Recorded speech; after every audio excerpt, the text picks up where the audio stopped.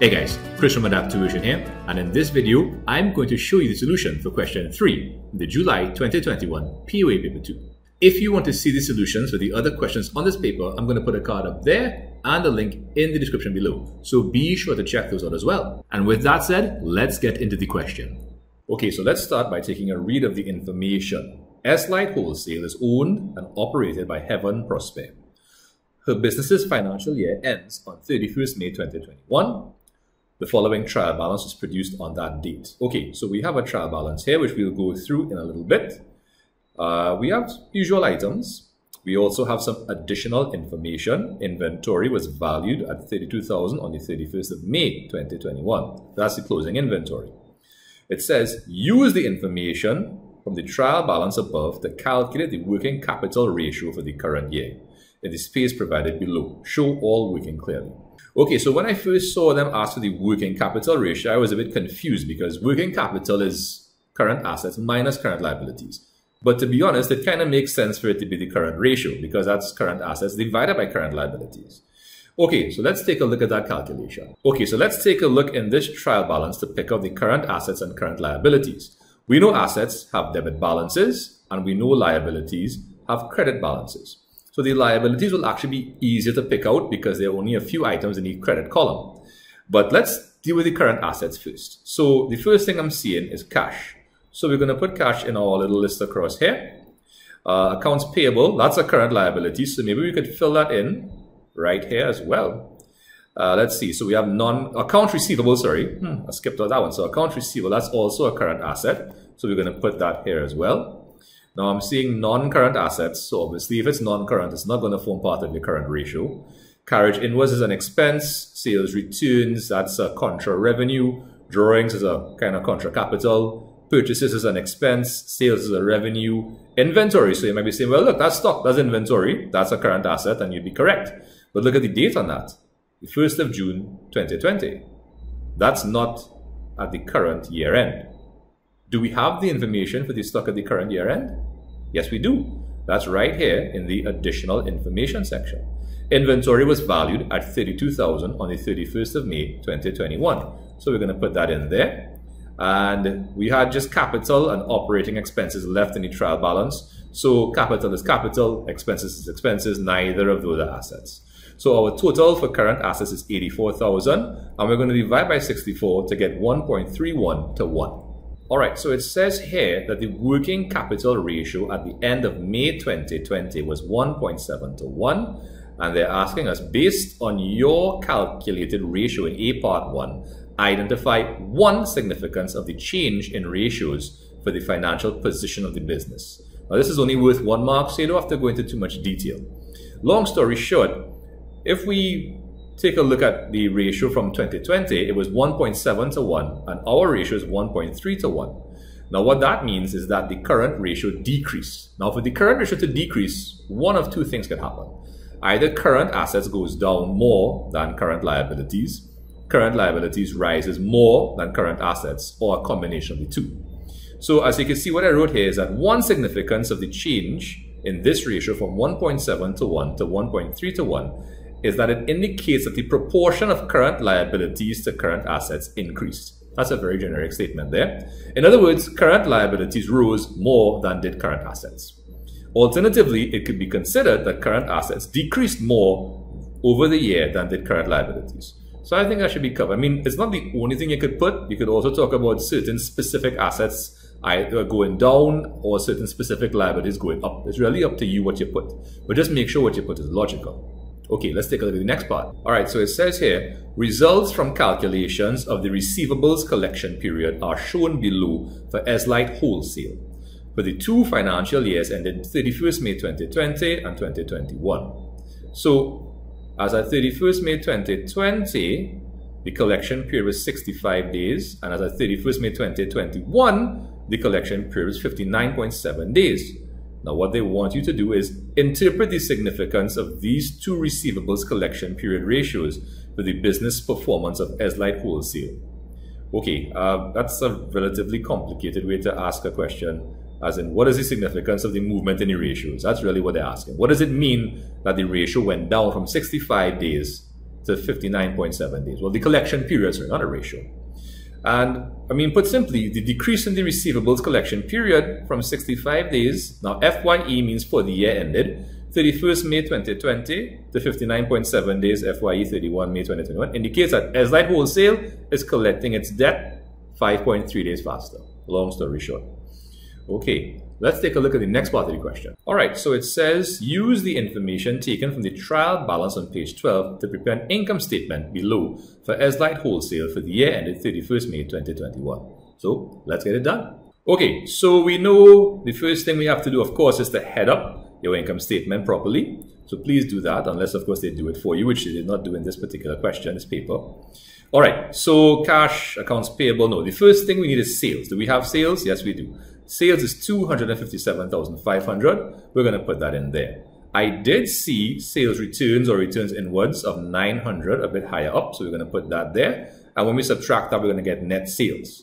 Now from net sales, we need to subtract our cost of goods sold. And we're going to start that, of course, with our opening inventory, which is $37,000. Now, of course, we need to add purchases, which is given to us in the trial balance as 98,000. But there was carriage inwards that we had to add to purchases. So we will do that there and get a subtotal of 99,200, which when added to the inventory at start gives us the cost of goods available for sale of 136,200. Now, what we need to do as well is to subtract the closing stock from the cost of goods available in order to get the cost of goods sold. That's going to give us 32,000 from the 136.2, which is 104,200. Now that is subtracted from your net sales to give us a, a gross profit, sorry, of 152,400. The last thing to do is to subtract your operating expenses from your gross profit, and that's going to give us 107,400 for the net profit. If you want to check out my earlier video on how to prepare an income statement, well, the trading section from scratch, I'm going to put a card up there and the link in the description below. So be sure to check that out as well. Let's take a look at the last part of the question. Okay, so it says that Ezlite's Ezlite Wholesale's bank statement showed an overdraft of $1,118 at the end of May. On that same date, the cash book balance was overdrawn of $678. So they both have overdrafts, of course, but they're different figures. So how do we explain that? Well, that's the purpose of a bank reconciliation statement. The following discrepancies between the two records were discovered. Okay, so number one, a check sent to a supplier, A. Jamil, did not appear on the bank statement, 700. Okay. The bank statement showed a debit for Heaven Prosper's personal private home insurance. Hmm, interesting. And we also have the bank had not recorded cash sales deposited on 31st May 2021. All right, so we have to, as they say here, beginning with the bank statement overdraft, prepare a bank reconciliation statement for Ezlite Wholesale at 31st May 2021 using the form provided below. Okay, so of course, as we know, you need to head up your statement properly. Now the question did say to start with the overdraft as per bank statement, which was 1,118. So I do hope you guys know how to do a bank rec starting with the bank statement balance. If you don't, and you want to see how to do it, I'm going to put a, a link or a card up in that corner to my bank recs playlist and the link in the description below. So be sure to check that out. Right, bank recs was a very bad topic for me in, in secondary school, but later on in my, my education, I learned how to do those things really, really well, really easily. And um, it's a topic that's close to my heart. So be sure to check those videos out.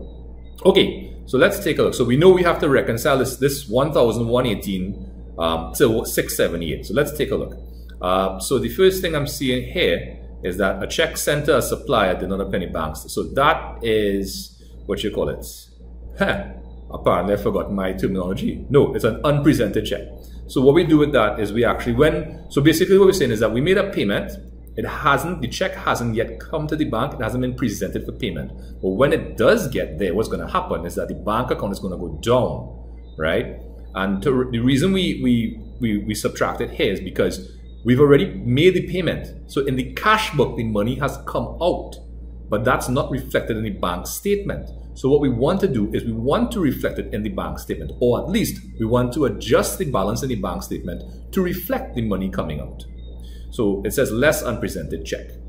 All right, next. So this one, this one was a little tricky, right? Uh, the bank statement showed a debit for Heaven Prosper's personal private home insurance. So this doesn't really fall into any of those categories very easily because basically what it is is drawings. And what I did is I, I added it back here, right? The reason being is that it's a personal item. So maybe it actually wasn't supposed to come out of your bank statement and the owner has to put back money. So I added it back there.